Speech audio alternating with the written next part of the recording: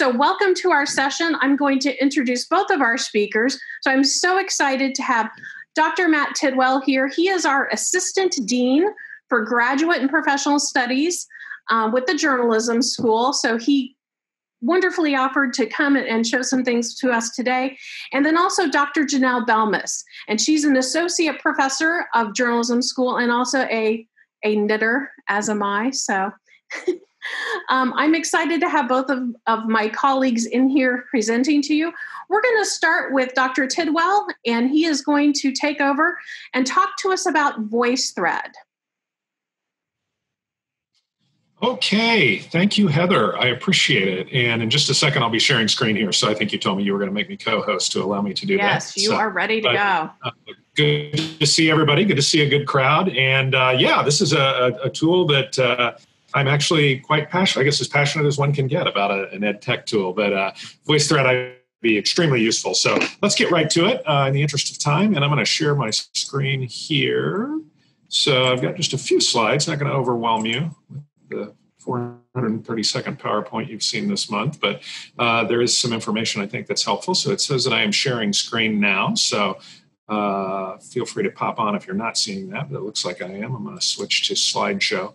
So, um, so VoiceThread. So this is a tool that's around for a while now, uh, and it's been available through KU for oh my gosh, I started adjuncting at the university probably nine or ten years ago, and VoiceThread was around.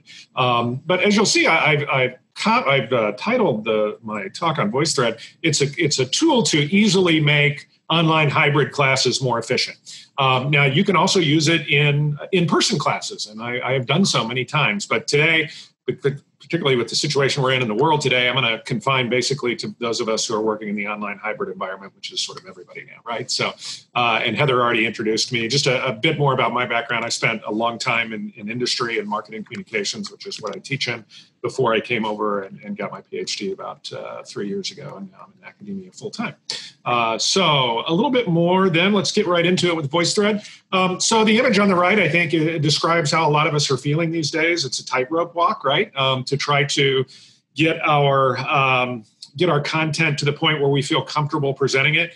If you're like me and enjoy presenting in a classroom and sort of an extroverted personality as, as I am, uh, you're really you're, you're sort of craving that, right? You're craving that that ability to be able to interact as close to real time as possible and to let students you know get a feel for you and your presentation style and what you bring to the class. And I think VoiceThread helps us to do that. So I would describe VoiceThread as a very easy way to mimic as closely as possible how I might present, say, a set of slides in the live classroom, or it could be uh, a PDF or a Microsoft Word document, or you, there are many different types of media, just meaning different kinds of of platforms that you can use within VoiceThread. And so we'll talk about those today. But I'll pretty much confine it to slides just because that's sort of the normal uh, lecture environment.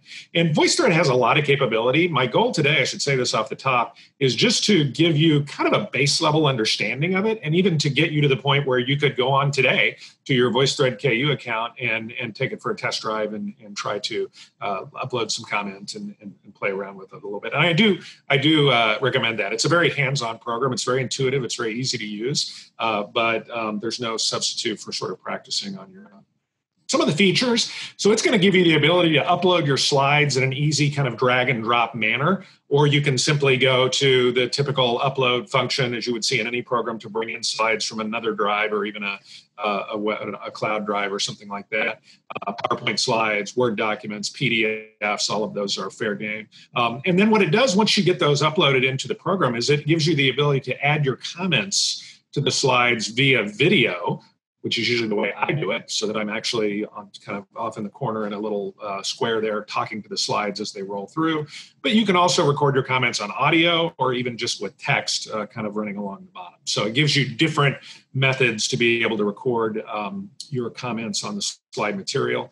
Uh, and it, it, one of the things I really like is it's very easy to share. So once you've recorded, say, a 12 slide lecture, 20, 30 minutes, you're able to then record that uh, obviously, and then it gets uploaded to your, the, the VoiceThread cloud, and then you have the ability to very easily share it uh, simply with a link, uh, which is usually the way I do it. There are some other ways to share it, uh, but it allows you to generate a link that is open that can be opened really on any kind of a, a web browser. And as Heather mentioned, uh, particularly when we get into the, the live demo here in a second, um, I'll have time at the at the end to answer questions if you have any, um, certainly. So. Um, from a student perspective, it, it, also, as you're, you've recorded your content, but it also allows students to add comments or questions as they view your recorded presentation. And I think this is a very important part, right? We want it to be two way communication, not just one way communication. And when students can upload comments, uh, either via video or just in text, then you're able to see what their questions are about what you've just talked to them about, lecture content. So, in that sense, it almost feels like a synchronous tool, even though it's asynchronous, um, even though uh, students can you can send them the link and they can look at it really kind of at their leisure or whenever you give them a deadline to view it, et cetera. Um, second bullet there, you can also turn the tool over to students and allow them to record their own presentations. And I've actually done this in a couple of classes. Um, and I know we've got some other professors. I know Professor Hendershot's done this a couple times at the journalism school where um, students can then use the VoiceThread program to maybe record their own slide deck, let's say, or um, you've given them maybe a final project. Uh, and once they've recorded and sent you their link, you can then comment, right, right on the recording. I really liked how you talked about this concept or whatever it might be. Um, and I usually do that via text, but I I think you could actually even come up via your own video as well, although I've not taken it to that level. Uh, but there is this interplay back and forth where the student can drive in terms of creating their own. Um, and then the other thing I like is that everybody, it's free. Uh, and how many times do we have that as an option? Um, everyone at KU has their own account, their own login, their own storage, et cetera. And I'll show you uh, in a couple of minutes how to, uh, how to access that. So, how have I used the program before we look at it? Uh, in a few ways. Um, one of the ways that I like it is that it, it allows me to cover basic materials that I don't want to waste precious in class time for, right? So I teach at the graduate level. I usually teach in night school classes are two and a half or so hours long. That's precious time for me, even when we're in a normal environment. And if I've got simple concepts or definitions or maybe some research that I want people to understand at a base level, I don't want to spend it, burn a lot of time in class for that. So if I can put it on VoiceThread and record it, then I can I can assign the students to do that out of class, so that when we're in class, we can spend more time on, particularly at the graduate level. It's all about rich discussion, right? I want to be able to have that, that rich discussion with them without having to cover uh, some basic research that they should already know. That's why I would put that on a VoiceThread. Um, other big use is during the pandemic. Uh, it's really a perfect tool for this hybrid environment so that um, you know, I don't know about you all, but as I teach online classes, if I do them synchronously, say in a Zoom session, uh, I happen to believe that Zoom fatigue is a real thing. Uh, and I think that to the degree that I can limit the time uh, it, that we're together uh, synchronously on Zoom, that's probably good. Uh, and so what I will do is I'll, I'll often do maybe an hour and a half uh, synchronous Zoom session, but then I'll put another half hour or an hour's worth of content on VoiceThread and then that becomes the content for that week, if you will. So in the pandemic, it's really this ability to record material is kind of a perfect tool for the perfect time or the right time. Um, the other thing I've used it for is anything I want to record and deliver to the same class every year or every semester. Uh, a good example is case study. Um, so I teach crisis communications, and in crisis communications, when I was in the industry, I had a lot of opportunity to work crisis, and so I developed case studies and things like that. What I will do, um, you know, once every two or three years, is I'll go into VoiceThread and I'll record a couple of those case studies, so that I can create sort of a recorded library of the, of the case study, and then I can use that every single class, right? So it actually makes my time as an instructor more efficient in that I don't have to dig out the slides again, remind myself of what I want to say. I actually record it um, and I have them watch it uh, at home or at their leisure. And then uh, if we want to do discussion, then many times I'll do that uh, when we all get back together synchronously, whether that be in the classroom or via Zoom or what have you. Um, and then lastly, it's to allow students to uh, make presentations virtually by recording them, as I might kind of alluded to this a few minutes ago. And, and uh, where I've done this, uh, I think most successfully is in the area of final projects. Um, so a lot of times I will have students do final projects that might uh, from a presentation perspective take 15 or 20 minutes individually well again that's going to burn a lot of time right? That we may not have in the classroom if we're if we are in fact physically in the classroom. So by them uh, doing the recordings on voicethread um, first of all i can grade those based off their recording and i can even share them with the rest of the class. Where i've even done where some students will present in person others will do voicethread uh, or even give them the option you can mix and match however however you care to. So lots of great uses for the program. What I'd like to do now is kind of give you a uh, let's let's just take a little test drive here and we're going to be somewhat limited by the technology in that you can't use your webcam for two programs simultaneously. So there'll be a little bit of a limit to what I can show you. But just give me a couple of tech moments here, and I just kind of want to walk you through the paces of how you would go about um, logging on to VoiceThread and then uh, actually uh, uh, playing around with making a recording. So uh, I'm going to stop my share here, and I'm going to go back out and grab Make sure I've got the right folders up. I do. Okay, so now I can go back to share screen. Yep, that's ready to go. Always a little bit of a tech moment there. Okay.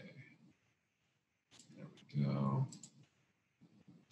Okay, and then I'm also going to, oops, take you to a browser window first. That's probably a better place to start. So let's go out to just say a normal browser window off your Chrome or, or your Safari or whatever you're using. And this would be how you would, this is the shortcut to log into the KU VoiceThread system is you're just going to go VoiceThread and it's automatically populated it for me as you can see. But the, the address is voicethread.ku.edu, voicethread.ku.edu. Uh, and when you enter, it's going to take you into the KUIT system. And you'll notice there's some description here. Uh, this is what everybody would see when they follow that thread.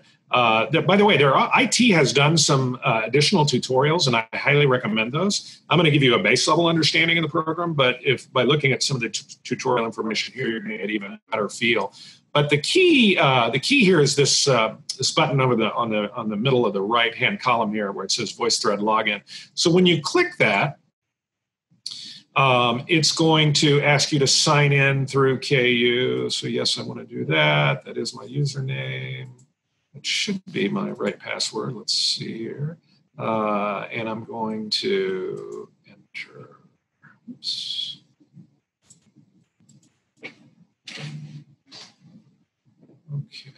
All right, great. So it's now taking me into VoiceThread. So I'm now in the program.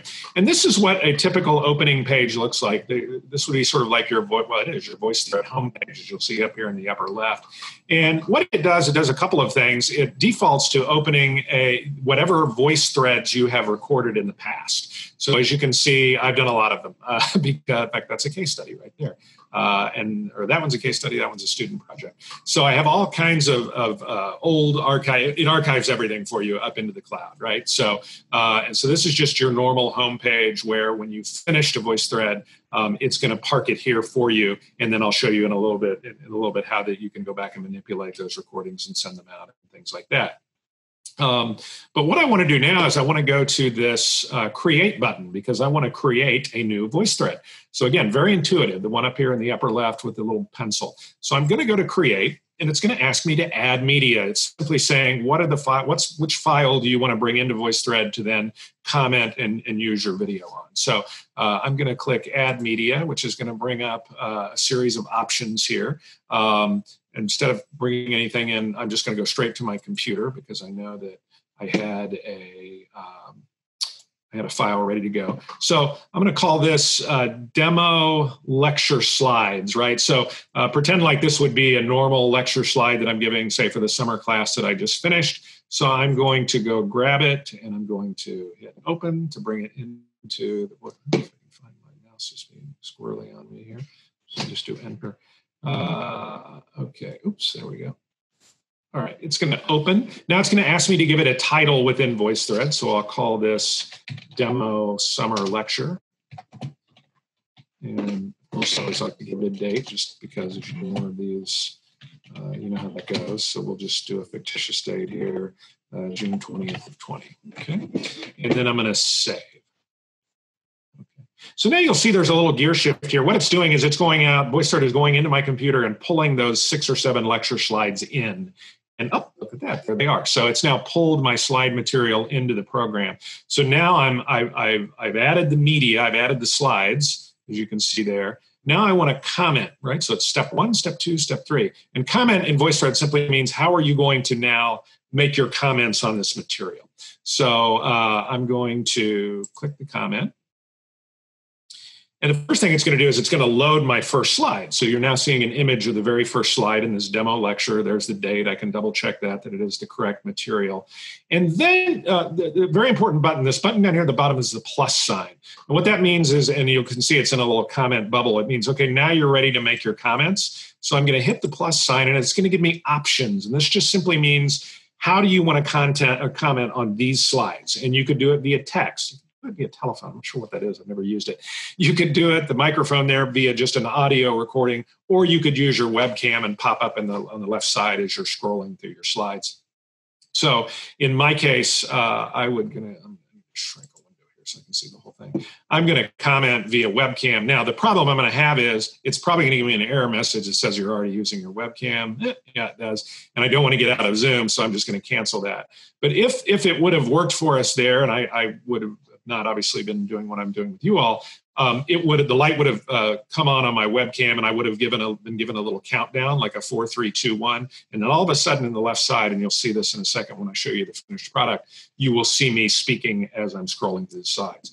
So what I would do if the webcam were active is I would welcome everybody with some kind of a welcome message. And notice this uh, in the very far right corner, this uh, arrow button that just allows me to advance to the next slide. So let's say I've done my welcome. Uh, a lot of times for a class, I want to say, here's what we're going to do today. Uh, you know, we're going to check in on the class schedule. We're going to look at some response strategies. We're going to talk about some research, discuss next week's assignment. And oh, by the way, you are able to uh, mark things on the slide as you talk by simply holding down your mouse. And it will give you a little uh, line tool that will allow you to say circle things, things, and it basically annotate the slides. And as you can see here, I took what was a, uh, a full class and distilled it down into five or six slides just for the purpose of this demo. So then when I'm done with my last slide, uh, I am going to, so we'll talk about next week, you will see, like a lot of recordings down here where the play sign is, there would be a stop uh, button. So I would hit the stop button and it would automatically stop and it would automatically begin uh, basically uploading the, the presentation. So if it took five minutes or 20 minutes or 45 minutes, it, as soon as you hit stop, it's going to upload it and send it back to your home page so that you can then view it on your own. So this is an example of how I would uh, how I would use the program to record, but of course I wasn't able to do that because of the webcam issue. Let's go back out to the uh, out to the home page. And I just need to make sure that, so I'm going to go back out here in the upper left to my VoiceThread homepage. I want to show you, actually, before uh, yesterday, before uh, I knew I was going to do this session, I actually did go in and record these slides so that you could see what it looks like. So I'm going to go back out here to the home page. Uh, and this is the one I want to show you, but I'm going to stop my share to make sure that I've got my audio turned on. So, uh, because if you don't, oh, I did not. So let me do that now. Okay, there we go. So now I'm going to share. Okay, so now we're seeing the home page again. So I just click the button that should allow you to hear the audio. Um, if for some reason it doesn't, uh, Heather, please flag me. But so I'm now going to show you. So I've recorded uh, those seven slides, and now I'm going to, uh, they're, they're parked here on my homepage, uh, finished version. Uh, and I'm going to hit the play button, and you all should be able to both, and it's only a couple of minutes because I fly through it, see and hear how this would look for, say, a student. So here we go.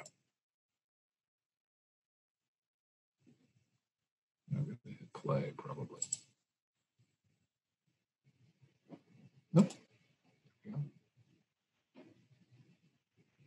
Good morning, everyone. Welcome to this video lecture uh, today, and uh, welcome to class session number three of Crisis Communications. Let's take a look at what we have today. Thanks for viewing this voice thread.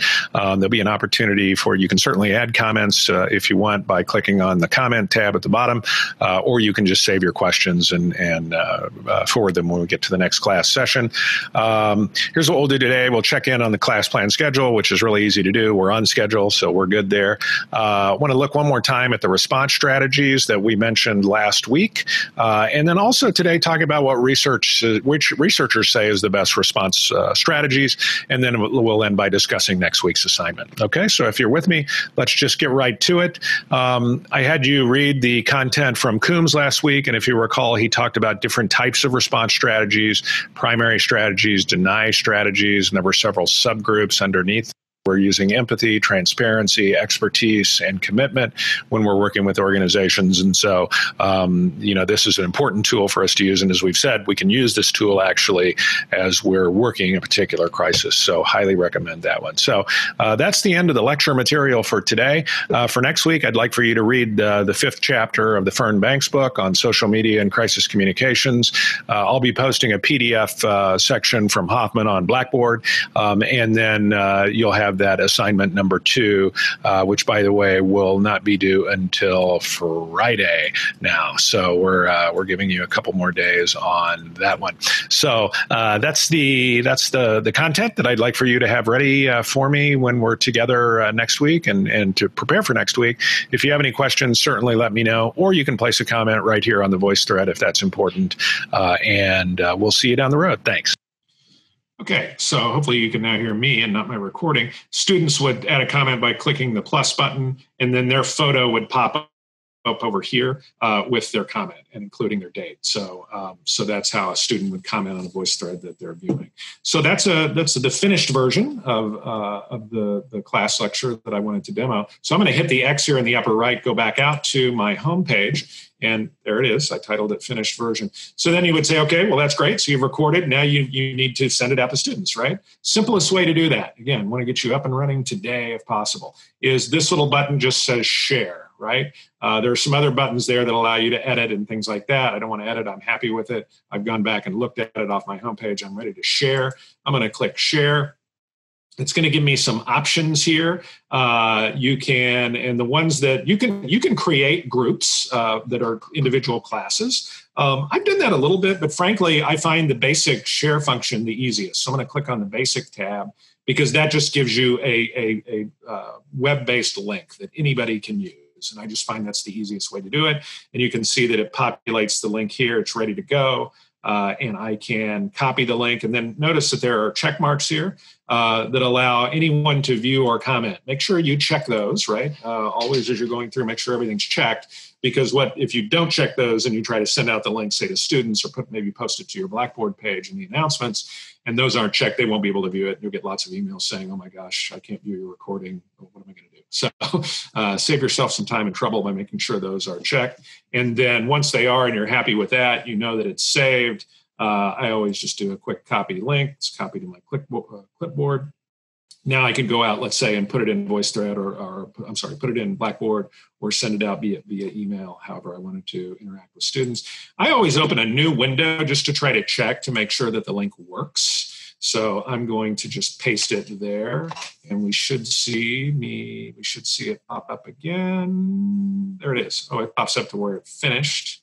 So I would need to move it back to the beginning and Good morning, everyone. Welcome. Rolling again, so we know that it works now. So, uh, so again, so homepage, but the keys are the create to go out and pull in your content, and then and then start that webcam or start that audio recording roll through the slides, uh, stop it, it will save it, move it back to your homepage, and then you can share it out. So pretty intuitive, pretty easy to use. Again, IT has some really good tutorials. Um, I can talk to you about. There are some other features with regard to even being able to, while it saves your recording um, to your homepage, um, you're also able to uh, actually download it as like an MP4 file. So you could actually have it as a video file as well. Um, so if you wanted to use it, say for external purposes, I've been asked to speak to a couple of, of groups, uh, the Kansas City area crisis communications, a lot of times I will, um, I, I, may not have access to my KU system wherever they're going to have me speak. That's why I might download, say, a presentation to an MP4 uh, file.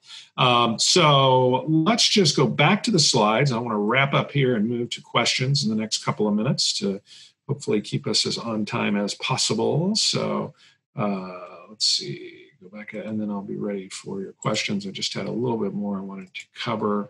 Um, so should be seeing my slides again. Sorry for jumping around, but that's our life these days. So we just did the test drive. Um, so pros and cons. So um, the pros, I think I really already covered. Uh, it's all those things about you know just be, being very intuitive and being very simple and easy to use. Really, those slides three through five that I, I went through earlier, and, and how I've used it uh, and, and, and, added things, including you know having students produce their own voice threads and things like that. Um, and uh, and so uh, those those are those are the the pros. There are, I would say, maybe two or three cons. Uh, bandwidth and connectivity needs to be pretty good for this program, um, and I think the reason for that and Heather's more of an expert than I am, but it, it heavily uses video, right? So um, if you've done, say, a you know the, the, one that I recorded for that demo was just like three minutes, it uploaded very quickly. It uploaded within, say, uh, a minute and a half. Um, I've noticed as I start to do voice threads that are much longer, in say the 45, 55, over a minute range or over an hour range, it can take longer. It can take, uh, the wheel is spinning for um, you know, 8, 10, 12, 15 minutes potentially before it finally populates it to my home screen. Um, and I've got pretty good connectivity here in my home office, better on campus, but I, I see that in both places. So bandwidth and connectivity need to be good. Um, it can take a long, so it can take, if the presentation is longer, that's why you need to have a good bandwidth because it can take a long time. Um, and I would say the other con is just there is a bit of a learning curve if you decide to use it with your students, in that um, you either have to do a tutorial like this with them and burn some class time for that, or you have to go out, and I'm sure there, this does exist with IT, uh, find a good tutorial that they can give you. And then VoiceThread as a company uh, has some pretty good uh, basic, like they, they have one that's almost exactly what I've just shown you uh, available on uh, on their resource as well. Uh, that you, I, potentially could go out and use that one. In fact, I think that's the one that I used uh, the last time I I, uh, I, tried to get students in um, to work with the program. Uh, but I, I, had surprisingly little trouble uh, with students. I, I, think I had a, a, a, class of maybe 25, and I had maybe 15 of those do their presentations via VoiceThread. And I really only had issues with one or two of those, and they typically had to do with things like very poor connectivity, uh, bandwidth wise, at, at, their home. And so they, they were just, you know, their presentations were 30 minutes long, and they just weren't able to to upload. So, uh, but don't be discouraged by the spinning wheel if you have a longer. Uh, if you have a longer lecture, it, it, will get there. It just takes a, a little bit of time. So uh, a few few cons, but mostly pros uh, there. So um, I, I, really want to get to your questions, and, and, again, hopefully this gave you a chance to get uh, a little bit more familiar with the program and, and be at least to the point where you could go go in and play around with it. The way I started was uh, took some simple slides um, and recorded my my own, just kind of for my purposes uh, went back and, and, looked at it, made sure I was comfortable with all of the, you know, with the, the one, two, three process there, uh, and then um, generated a couple links and tried them out on different web browsers and things like that, um, so that I could make sure that it worked well. Um, so with that, Heather, I'm going to stop share. Here's my email address if anybody would like to get a hold of me. I'm also on Twitter, uh, but I know we wanted to uh, perhaps open it up to questions, right?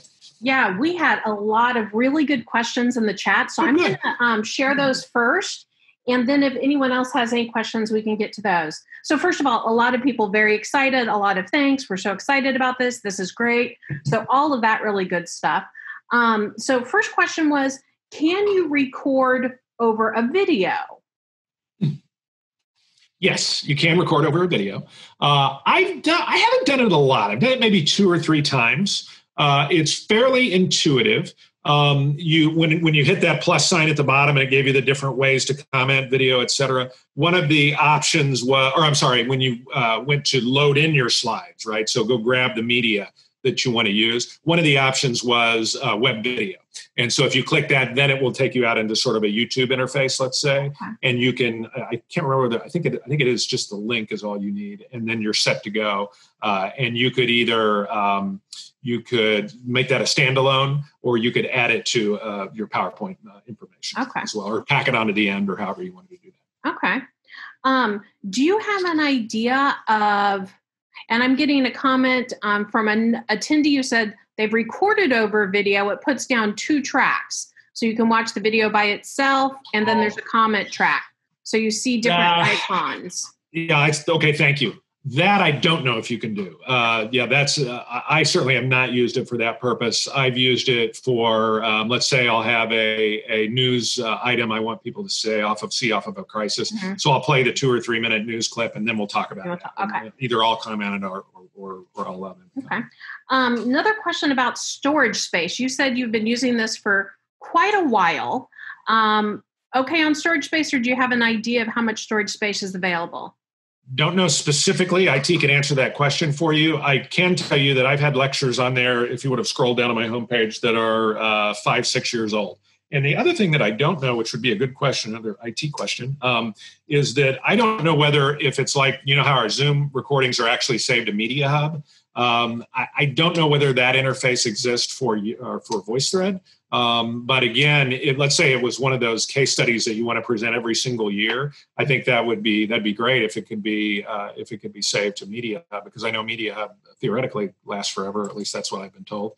Uh, so I would I would try to get it in Media. The other option that you could have is to if it's a really important thing like a case study that you want to come back to year after year, uh, download it, it, send it to your homepage, but then also download it as an MP4 file. Uh, and then that way you've got that, uh, you can save it on your own hard drive or in your own cloud or whatever. Okay. Um, have you used Kaltura and could you compare Kaltura to VoiceThread? Not used Kaltura. No, I got so excited and enamored with VoiceThread that I, I really have not. Uh, I've not used uh, Kaltura. Uh, I know there are some similarities. I've talked to people that have used it, um, but when I saw this gives you the ability to immediately generate a link uh, I was sold. So, uh, because for graduate students, I work with a lot of working professionals in my program. They're already working 60 hour weeks. Uh, if I have to try to get them to fish around for stuff or, or upload or whatever, it just, it's the, the link is, is, a, is a savior there. Okay. Um, is there a way to, when you're recording your voiceover on the PowerPoint slides, is there a way to create captions automatically for accessibility? Oh, I see. Um, uh, good question. Um, I believe VoiceThread has added captioning, um, but not exactly sure where you would go to access that. Okay. So that yeah, so that would need to be again, sorry, but that would need to be an IT question. Okay. And uh-huh. IT support on this, by the way, has been very good. Every time I've had a question, any anytime the university's paying a lot of money for these programs, um, they're going to support them. And this is one, unlike some of the others, where where they, you know, everybody gets an account. So I've never had to wait more than half a day to get an answer back on a question uh, with regard to something I wanted to add. Okay. Can you go back and edit your voice threads, or that's kind of question one. And part two of that is, can you have videos on or off during the recording? So maybe like one slide my video is on the next one it's off oh um, i've never tried that um, i think you have to you have to self-identify how you're going to comment at the beginning and then you would either have to um, you would either have to record a second. I, I, sometimes i've done the only thing i've done that's similar to that is i've done kind of a part one or a part two where my part one will be my lecture content that i want to be visible on and part two maybe maybe it's because I'm, I'm going through a word document or something like that and i want them to really concentrate on what's on the screen i'll do a part two. So i have done that but i don't think you can go back and forth in terms of means of, of commenting as the instructor. Uh, i think you have to to say am i going to do this via audio microphone? Am i going to do it by my webcam? And then you have to you have to make that decision uh, at the beginning. And then what was the first part of the question heather? Can you go back and edit voice yes. threads that you've created. You can go back to edit. So that that uh, when I got to the homepage there, and there were those three icons, I picked on the middle one to share it. The one to the left was edit, and if you click that, it will bring it back up for you. Um, and then it has some rudimentary edit tools there, uh, that, like we've seen in other programs, that allow you to, um, you know, go back, clip out a portion. Uh, basically, what I've used it for in the past is particularly on the kind of like Zoom on the beginning or the end if there's superfluous information. Uh, but I, I, usually I try to when I click the webcam, um, I, I, try to be ready to go. Right, I, I don't want to. I, it's um, I look at it as if I'm stepping up to the podium in the class. Mm-hmm. Uh, I really don't treat it any differently than that. Um, and so in that I've I've edited maybe twice in, in all the times I've used VoiceThread. I just um I've got my I know what my content material is. I know how I want to run the lecture, and I run it through straight to finish, and then uh, and then go from there. Okay. Um, the next few questions are about student comments. So um, you had talked about recording some like case studies to reuse again. If students comment on those, are those permanent going forward or can those be removed? Yeah, they can be removed. uh, by the instructor. So the, the, students can comment on the case study that you're giving the first year you give it, and then I see what you're saying. Go back to second year. I want to get rid of these comments. Yes, you you, you definitely are, are able to do that. You've got that ability as the as the okay. owner of the content, if you will. Um, so. And are um, are the student comments are they for the whole class to view or just the teacher, just the instructor? Uh, whole class. So you're that's why when you hit allow anyone to comment, it literally means anyone can comment so that it can be seen. Okay. So almost um, like a um, tool in that regard. When you're creating that voice thread link, does it start automatically where you stop, or do you need to go back to the very beginning and then generate that link so that when the student brings it up, they don't have to back it up to the start? Should start at the beginning. I noticed that one didn't, and I think it's because I, I, I was I was hoping I was making sure we weren't going to run out of time. I actually tacked a little comment on the end, and I think it was trying to go to that content as if that was going to be the next thing. But if I was just going to try to do that for demo purposes, but it's pretty easy. I just decided I didn't need to do it, and I just never, I never deleted it. So I thought that's where I wanted to start. If you just go straight through, it's going to start at the very beginning. Okay, and um, in that online storage, you can delete old files or things that aren't correct and. Yep, yep, yep. So you can delete, or you can also from the home page, you can also download to MP4. Uh, okay. Uh, in addition to generating the link, editing, and then download uh, as well. Okay.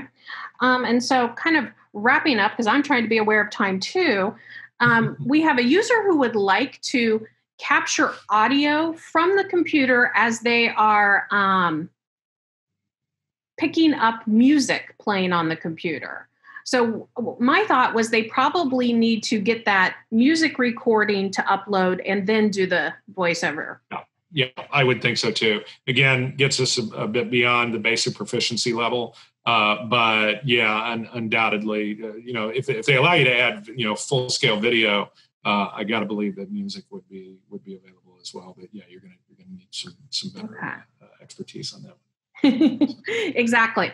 And there are a couple of more questions. I think there's a question about um, demoing, deletion, and sharing. I'm going to see if we have some room at the end in case we want to come back to, to you doing another okay. screen share. But since we're sure. about 45 minutes in, I want to yeah. go ahead and get to Genelle's uh, segment of part of the show. And so, thank you guys for all of the great questions. We'll see if we have time at the end to add some more in. Um, but I will turn over the stage to uh, Dr. Belmas um, and and let her tell you all about Camtasia. Camtasia. Uh, I'm Genelle Belmas. I teach the best stuff ever. I get to teach media law at the J School. Um, and the recording that I provided for you is was kindly created with Heather as I was trying to teach her um, the, one of the most interesting cases, which is not a free speech case, but it's a, a case called Marbury versus Madison. I think there may be some law school uh, folks in here. So I intentionally built in errors. I don't not know the case. So if you're looking at that going, ah, she's wrong on that, you're right, because the intention was to build some things in that I was going to let people edit out. So I'm also going to be bouncing back and forth and sharing my screen. Uh, Matt did a great job on this. I'm really glad he did because he um, uh, prefaced some of the things that are similar actually between uh, Camtasia and um, excuse me, Camtasia and uh, VoiceThread. So I believe I am sharing my screen now. I'm glancing over. So Sentinel is me too on here. I keep a backup so I can watch the chat and see what other people are seeing. So um, Sentinel is telling me that I am sharing my screen. Um, and again, please feel free to, to drop Heather a note. We'll be I'll do the best I can to answer this. I've been using Camtasia since I started teaching online, which was about 2007 or 8. Uh, so right now we're at Camtasia 2020, which seems to be the way folks are labeling their apps now is uh, by by year. Um, so what is it? Well, it's an app that creates, edits, renders, and posts videos. Uh, it allows an awful lot of editing things, many more, I believe, than than are available on VoiceThread. Although it does take a higher learning curve. I feel like with Matt's introduction, I could just jump right in and and do the thing, which is very cool. But this is a little bit um, more, a little bit higher of a learning curve, but gives you some opportunities that I suspect VoiceThread doesn't. They're, I think, both really uh, important for uh, depending on the application you've got. So it is similar if you are an Adobe fan to Premiere Rush. I'll talk about I'll show the screens. I'm not going to talk about all the pluses and minuses. I don't teach either of these as in a class, but I do see that there are some similarities between Camtasia and Rush. And I know that at least for some of us, we get Adobe for very cheap, and uh, Camtasia is not free, unfortunately. You do have to get an account for it. Um, Mac and PC, and can also record iOS device screens uh, available. I am using a PC, but I've shown you a couple of Mac um, uh, shortcuts in case you want to use those. And it does require um, um, a fee. So it's $169 for educational costs, but your unit um, ha- may have some free accounts, some accounts that are floating around. And I know that at least at the J School, you can ask for one of the accounts. I've bought mine because I've been using it like forever. Um, and I have found it to be a, a really good uh, tool. But again, if you don't want to spend that kind of money, you can use some of these same tips and tricks within Adobe Rush, which I believe that the entire university gets for cheaper but you can download it and give it a try for free.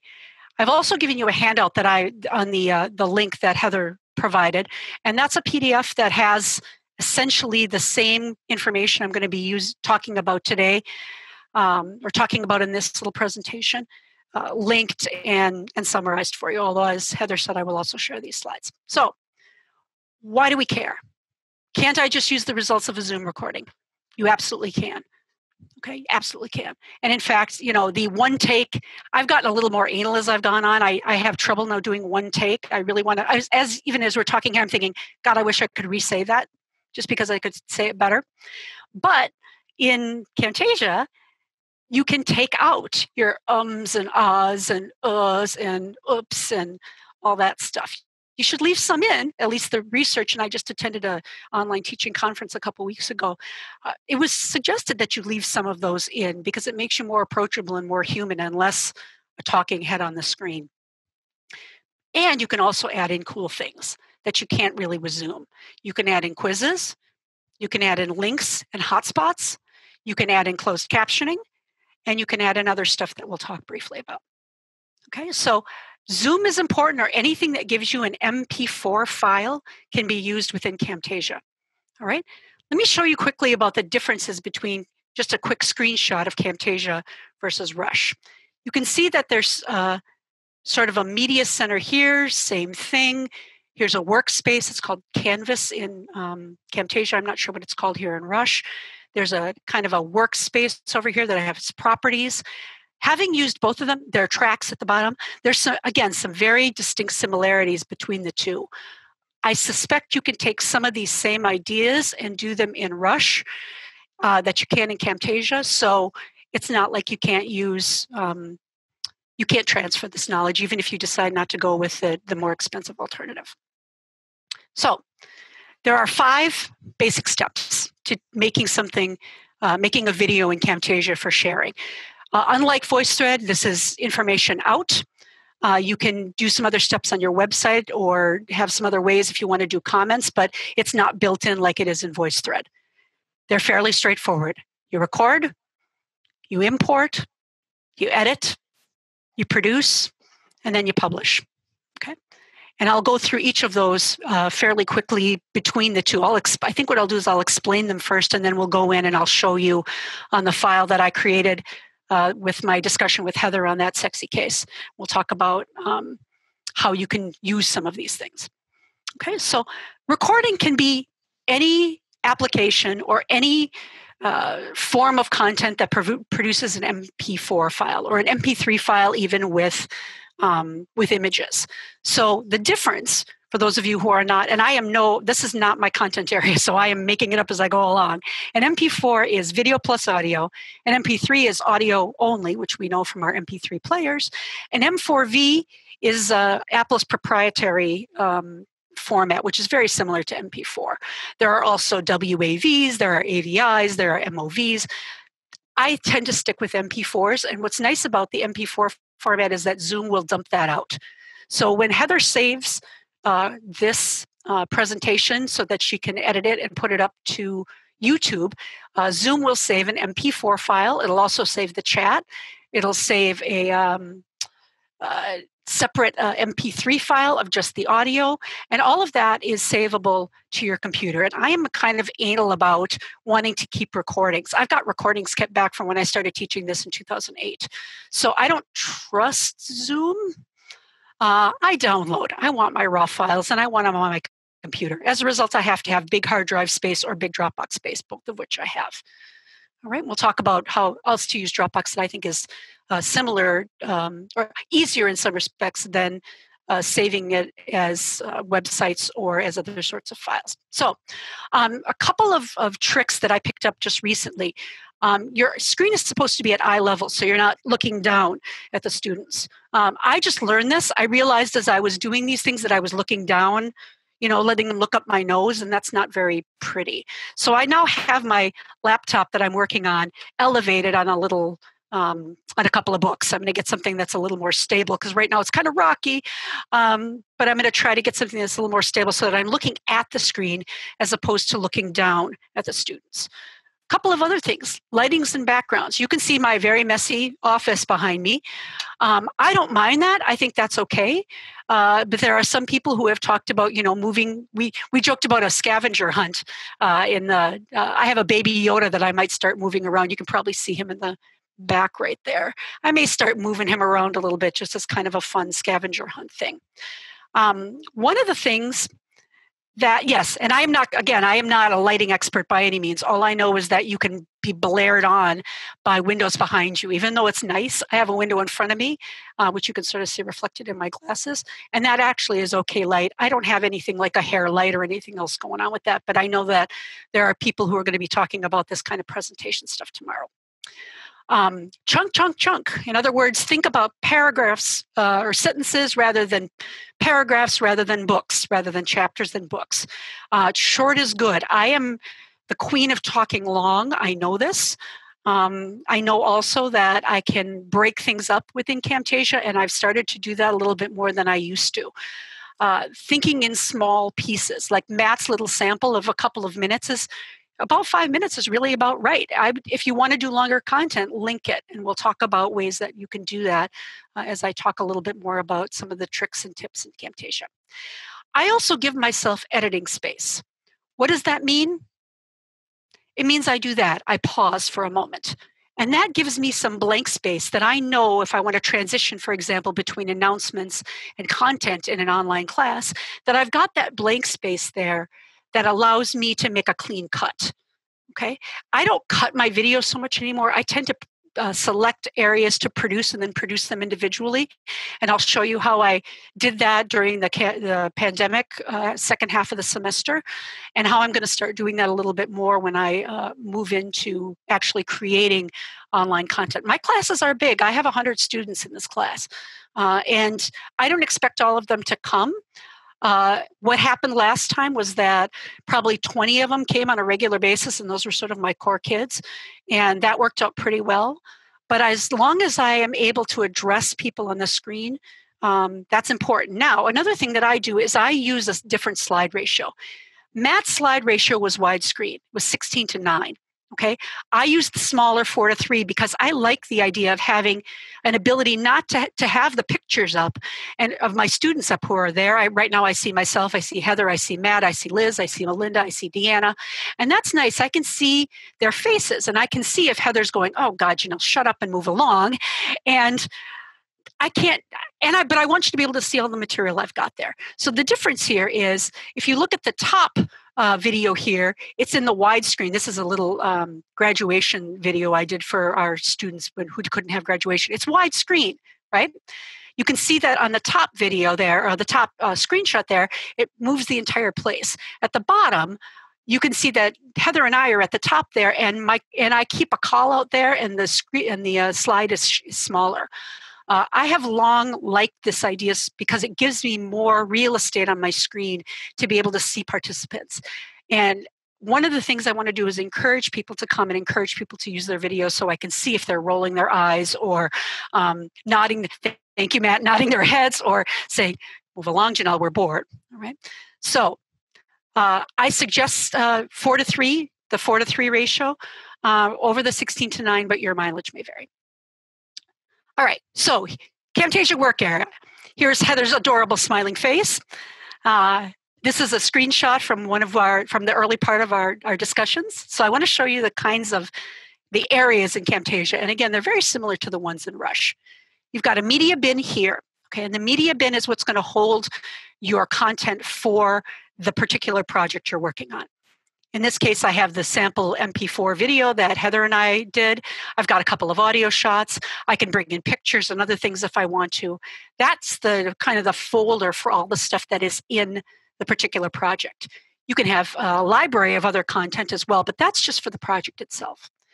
The canvas is where you actually have the work product. That's what you see what you're recording here.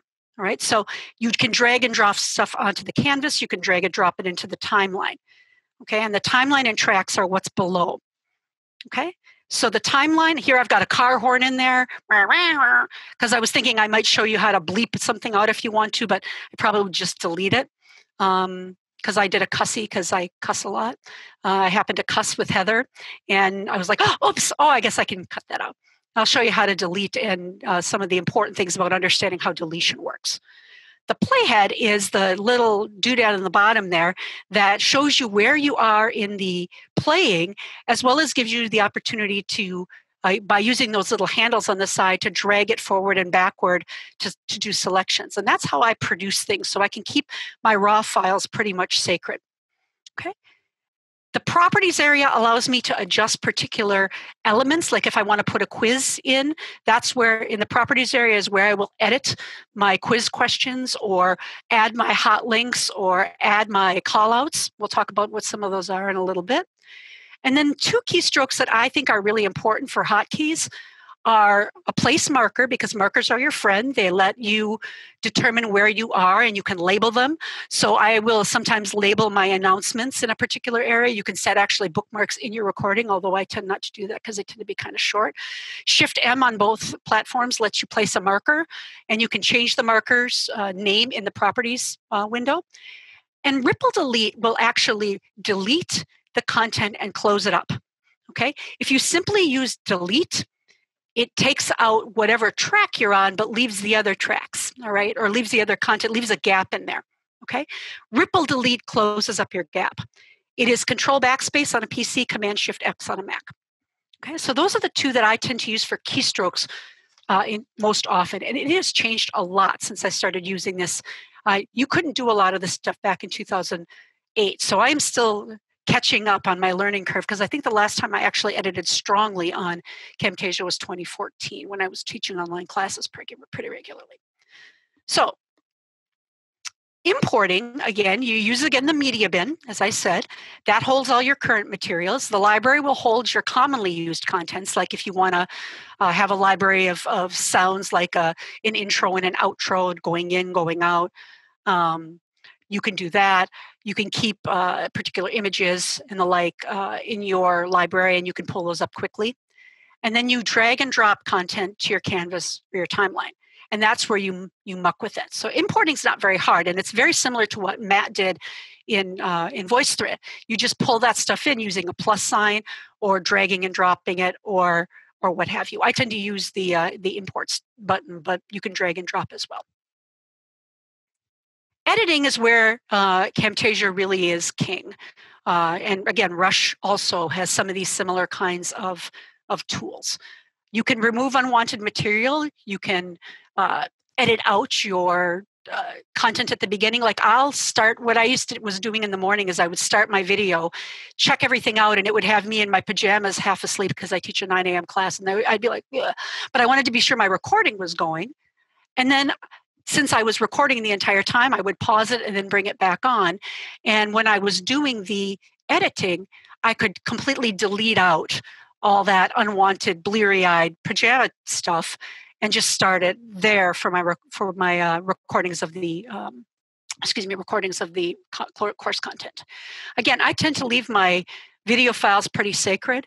I just save various versions of it, and you want to save uh, Camtasia projects before you actually render and, and publish them. Okay, so the delete again will delete and leave a hole. The ripple delete crunches stuff together and leaves a, um, a seamless deletion.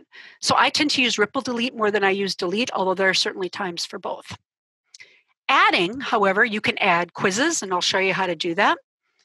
You can add callouts, which are little blocks that have information on them that can be corrections on what you uh, put in. So if you don't want to re-record something, you just want to post a correction, or you're like, God, I can't think of that right now. I'll get back to you. You can get back to them by putting a call out in that has that information. I know, for example, one of my earlier uh, lectures, and I couldn't do you couldn't do this back in the earliest versions of Camtasia. I said a, a case is uh, Chaplinsky versus New Hampshire, and I said New York, and I then I said oops, oops, oops, and what I would have done then is just gone in and stuck a call out and said, oops, I made it a boo boo. Okay hotspots okay allow you to uh, put in a, an area to click for uh, an outside video or an outside website. There are uh, different things that you can do uh, with hotspots that allow you to bring in additional content.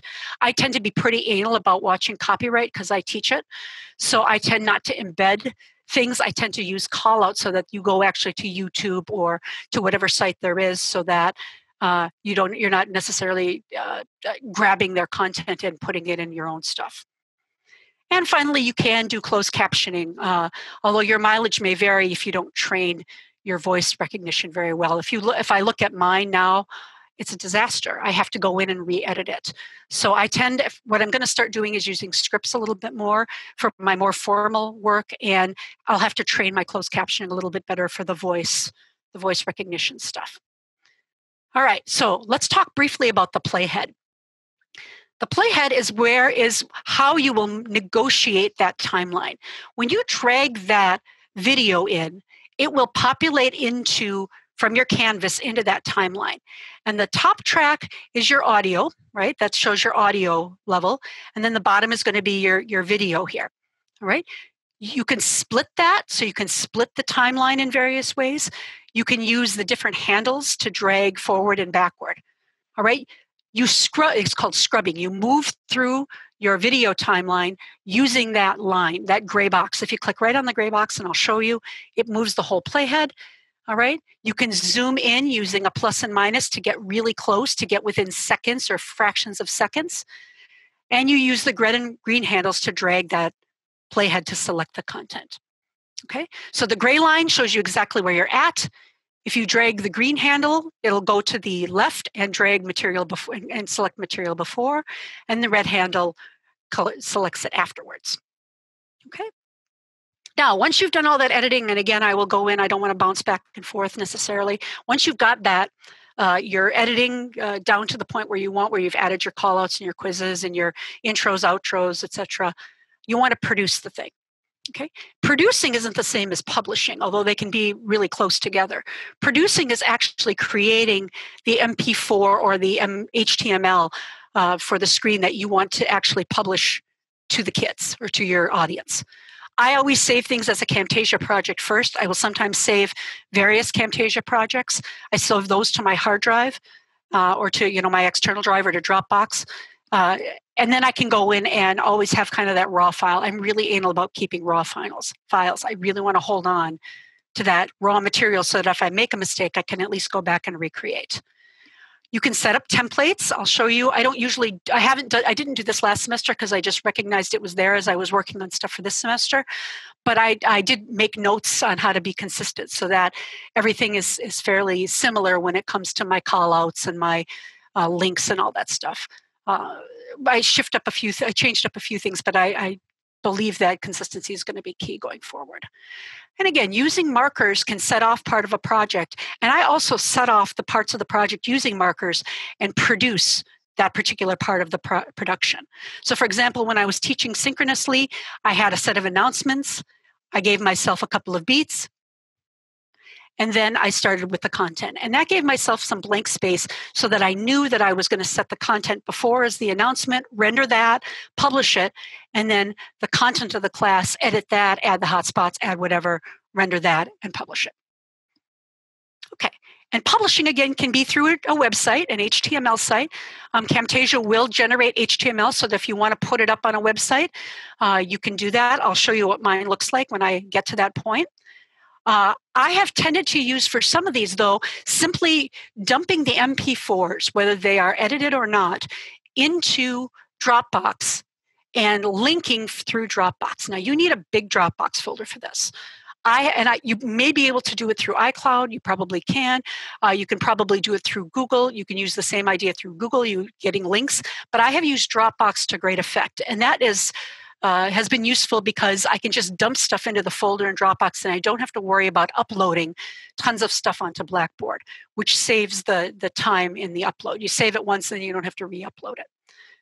Okay, so I'll come back to, I'm just going to say there's a, a, resource thing. We'll talk a little bit about that. I, on the handout, I've got some links on where you can get. I noticed that Matt had used an Unsplash photo. That's one of the places that I use for, for free content attribute. You can attribute it, but you don't even have to do that. I've got some other options too, but please respect the creator's copyrights. Um, if stuff is not in the public domain or not Creative Commons attributed or Creative Commons attribution licensed, uh, you might want to try to get permission uh, and simply saying that this is where it's from doesn't necessarily protect you. I'm not going to give you a whole law lecture now, but uh, bottom line is just be careful when you copyright stuff or when you use stuff that it's not copyrighted. So I'm going to stop sharing this screen and I'm going to share Camtasia itself.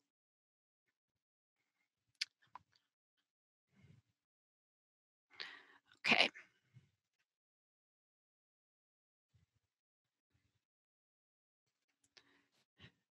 and Sentinel tells me I'm up. This is a uh, uh, project that I started working on with the uh, teaching session I did with Heather.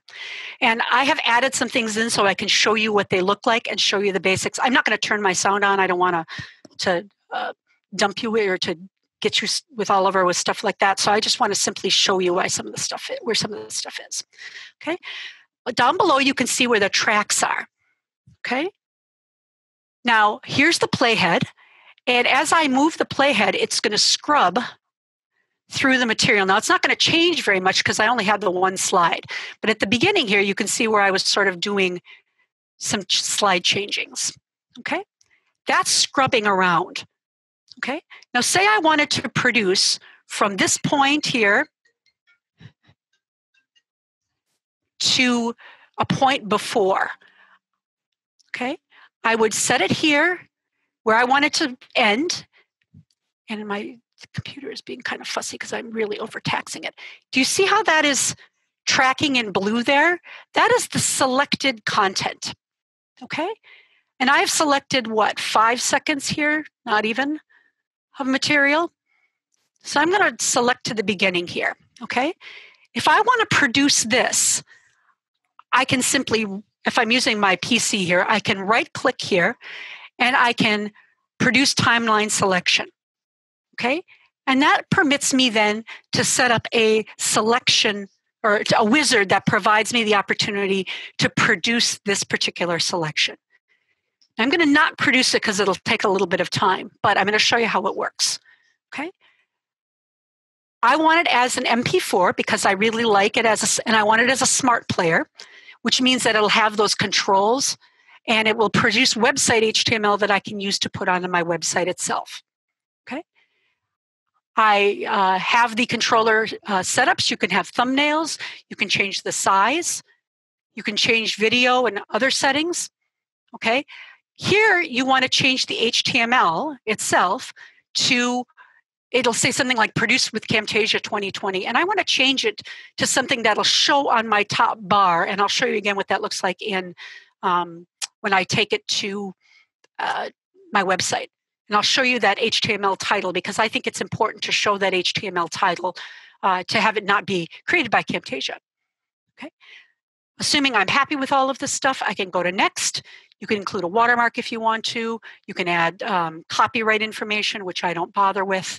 And when I go to next, okay, I have the opportunity then to have my quiz reported because I've got a quiz uh, in here somewhere in here.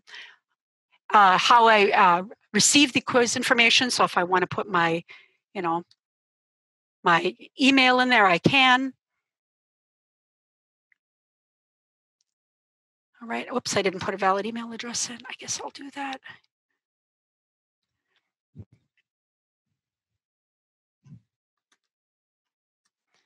and then I produce it. Now, when I produce, if I were to hit finish, then it would go into the rendering, and I don't want to do that. Okay, it's saving right now, as you see. I have it saved on my own home, my own computer, because I want to be able to manipulate it later on using my uh, Dreamweaver or some sort of other HTML program. Okay, so that is how you essentially how you produce a video. Okay, now if I want to put a quiz in here, I'm going to unselect this here. Go back.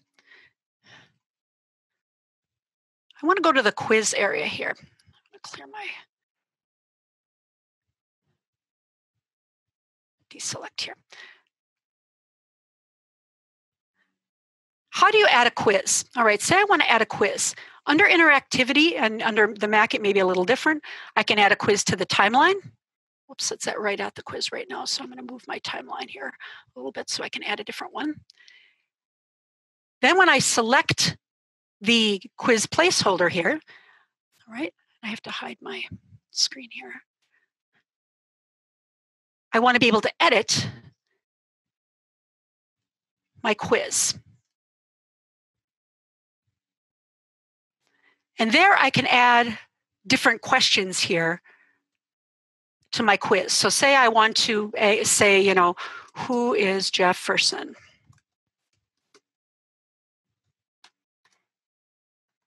All right. My default answer text, third president. My, uh, and then it'll, you can note what the correct answer is by that. Uh, just some guy or Chief Justice. Okay.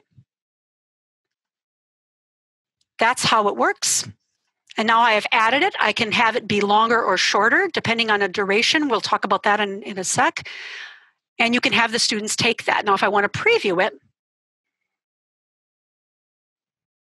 come back here. If I want to test it, or I'm sorry,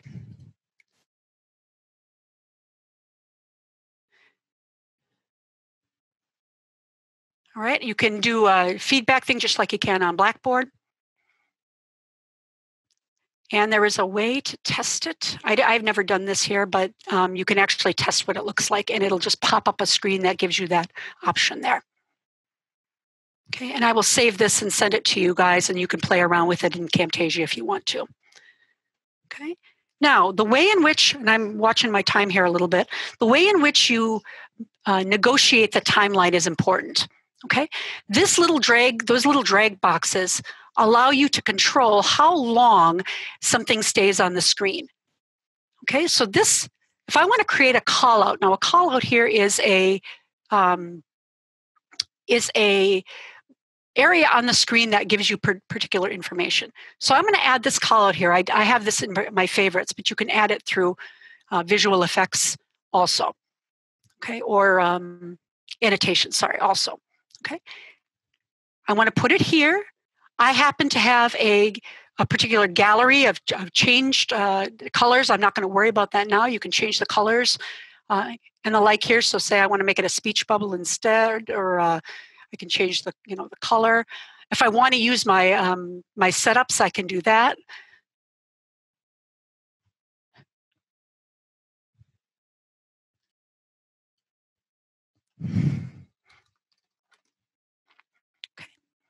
Here's where I would make my corrections. Now, say I don't, if I have it really short here, all right, and I'm going to play this, it shouldn't have any music on it or anything. Um, you can see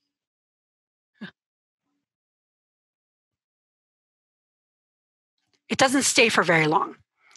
So when I want to keep it to go longer, I want to drag it in the timeline to have it be st- last longer and it will last for as long as you ask it to in the timeline. And you can do this by dragging and, and uh, using the plus and minus to get in really close. Like you can see as I've done here, you can get into fractions of a second. All right. And to zoom back out, use the minus. Trying to think of what else. Closed captioning. Okay, I'm going to tell you really quickly about closed captioning. And again, this is just an introduction. You can have it uh, uh, render your own captions through speech to text. I've done some training and some adding of words. Okay, and it will. If I go continue, it will start to render. I'll start doing that to show you what it looks like. I'm not going to have it do it because it's creating the whole audio thing here, and then it'll go through, and it takes a long time because this is a 15 minute chat. Okay, it's not very good uh, because I have not trained it very well yet. I plan to do some more training in it. You can do that directly through Camtasia.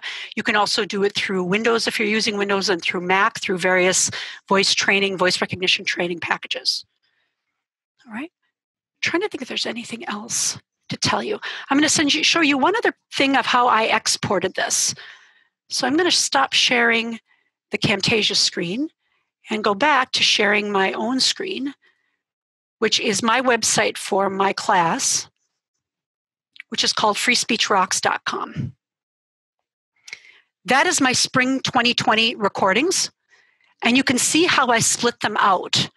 So I have the announcements on the right side, and if you render through Camtasia, it will give you a package that looks that has uh, MP4s MP3s, and HTML that I can use directly through Dreamweaver.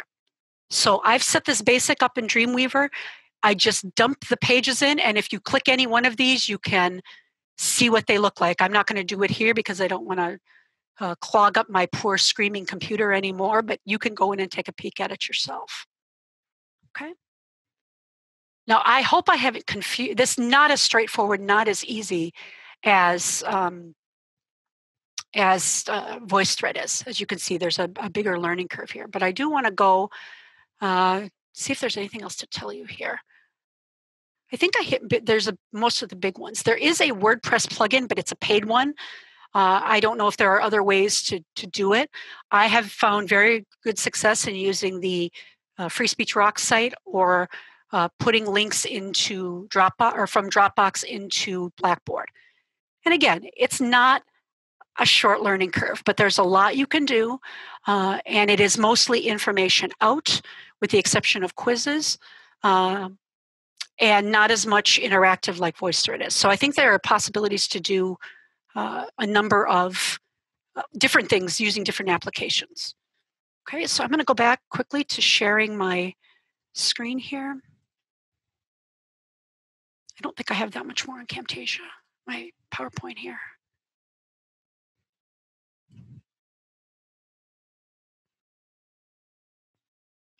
I think I don't actually. I think that's the last slide. I am on Twitter at in underscore Fieri and at KU. And I'm going to stop sharing. Excellent. Well, thank you so much, Genelle, for all of those um, fabulous hints. Um, so, a couple of questions we had here for you. So, first of all, a lot of comments. This is wonderful. Oh my gosh, all the things. Yeah, it, and it's. I apologize for not. I was trying to give you an overview, and it turned out to be a lot more in detail than I'd hoped. But if I were doing this on Camtasia, I would simply go and edit myself out. But I ain't. So it's fine. Um, so we also had a lot of people who thought it was great tips on the four to three screen. So that was pretty popular. Just the idea of doing that four four to three orientation was exciting to people.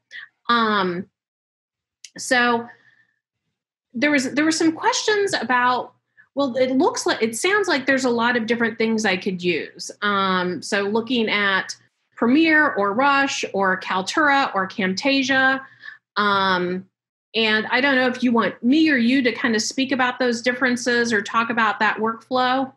Go ahead. I um i don't use kaltura. I only putz with rush. I've been using camtasia like i said since I don't know, 2008, so I at least know where everything is on it. So I would welcome welcome your comments on it. Okay. So my my theory on you know like which is best um, is is really about what you kind of your end purpose is, and I really use all of them. So, for example, and I know all of these, so that does make a difference. Um, I use Camtasia when I want to have um, those quick markers that Genelle mentioned, if you upload directly to YouTube, those export as time markers into YouTube. Um, so to me, that's a, a, great work feature. I do a lot of training videos, so that's really the um, that's kind of an important feature for Let me. Let me show you one other thing too quick. The same thing is share. You can share directly from the corner button up here, and that has a YouTube option.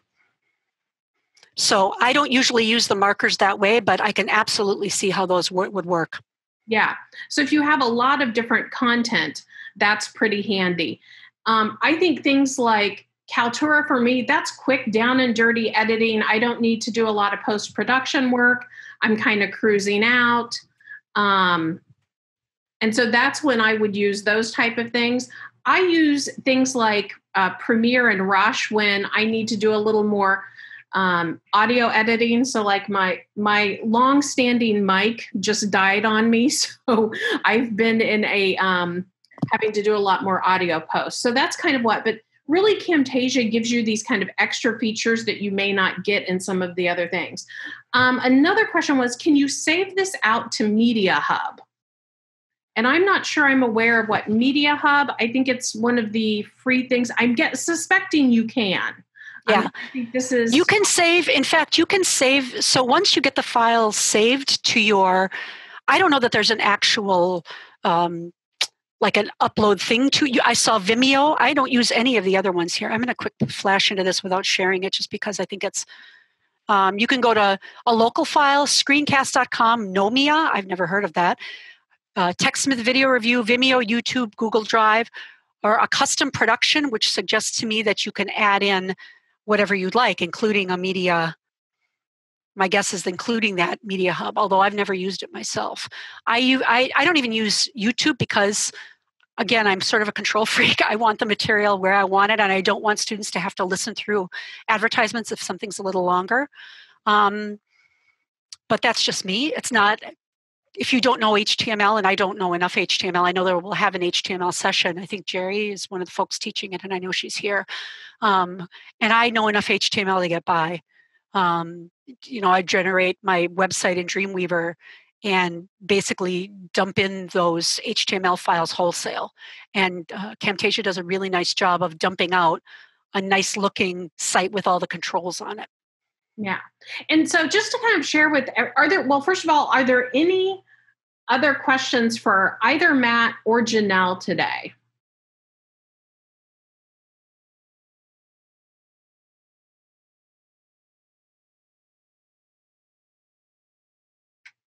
Okay, well, if there's if you do have one, feel free to jump in. Um, I'll stick around a few minutes too if anybody wants to chat. Yeah. If that's okay with Heather. That's perfect. Um, just to wrap up, first of all, thank you guys so much for coming and attending and uh, spending part of your your lunch break with us today. Just to give you an overview, so Genelle mentioned some presentation tips.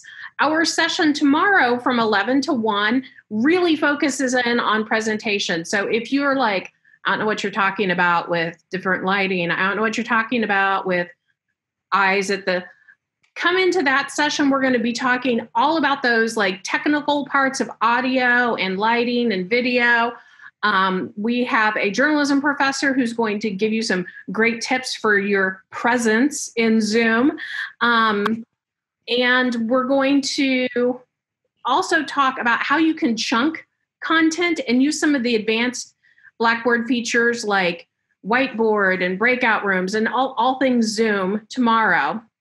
And then next Monday, which Genelle just alluded to, we're going to have a big group of professors um, doing what we call Blackboard and beyond. So we're going to show you best practices in Blackboard and then go beyond that to how you can connect with your students when you're in an online environment. And Genelle um, mentioned Jerry B. Jerry is one of our professors who's going to talk about some really, I, I got a sneak preview of her presentation today, and it's a lot of cool, free, multi use tools, way to get students engaged in an online environment, um, which I think that's a special gift. So if you haven't signed up for those, I encourage you to sign up for those because those are kind of a big full thing. We've just got a question come in.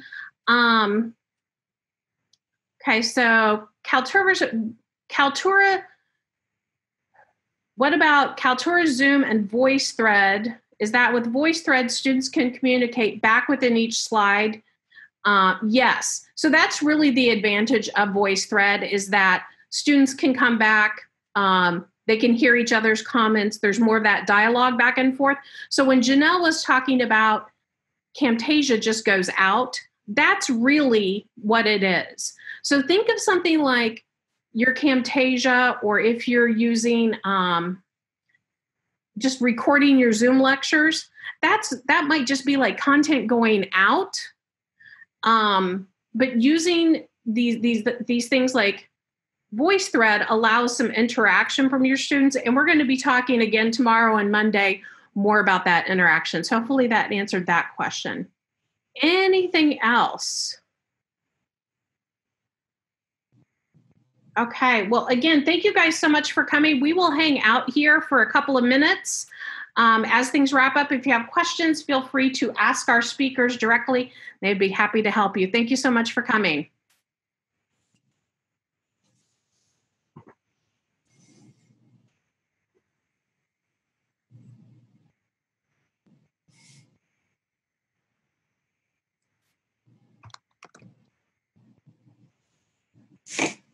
We're getting a lot of thank yous as everyone leaves. So a lot of this was great. This was fabulous.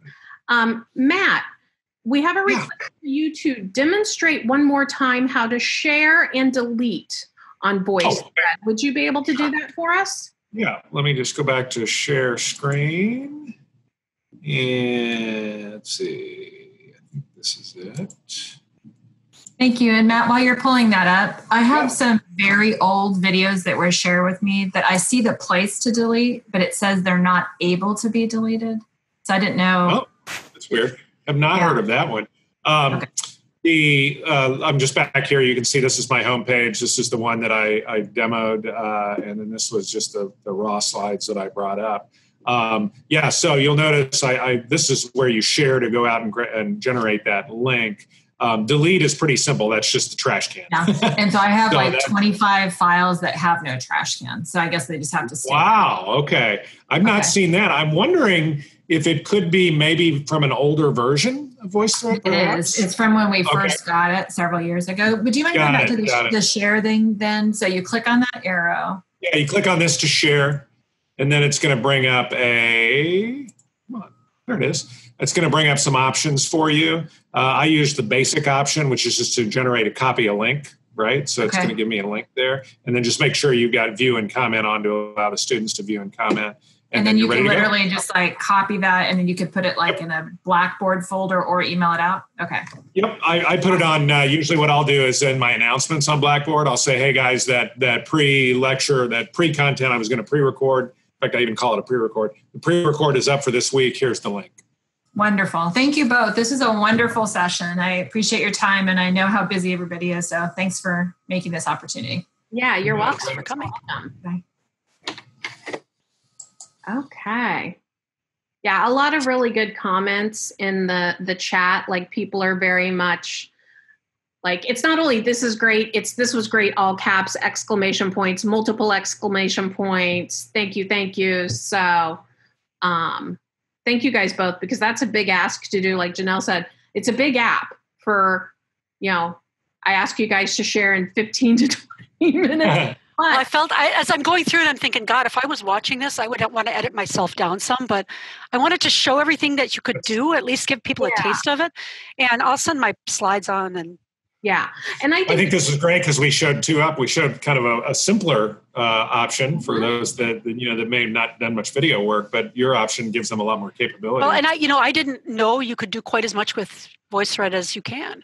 Um, yeah, but the editing is very rudimentary, though. So yeah, you, are able to do a lot more editing. And, yeah, and it, but it is a higher learning curve. You know, if I hadn't been using this forever, I'm not sure I could have used it for as well, much as I. I think I told someone in the chat because there were there was a lot of questions about like well which one do you really recommend and it's kind of pick your own adventure you know if if camtasia is like i've never edited video in my life they're going to be a lot like the students i teach which is what but maybe VoiceThread is a great place to start And then, you know, I get the training wheels, then I get the training wheels off Yeah. the bike.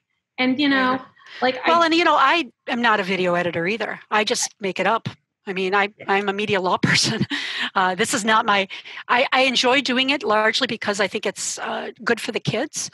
But I am no. I mean, I'm no video editor. I mean, you're the you're the goddess, Heather. I am not. I Well- I just putz. To, to some degree, like if I'm if I'm doing like six PowerPoint slides and I just need my voice over it, going into Camtasia is a little bit like driving the Lamborghini down to the mailbox. Like I I don't necessarily need to do that.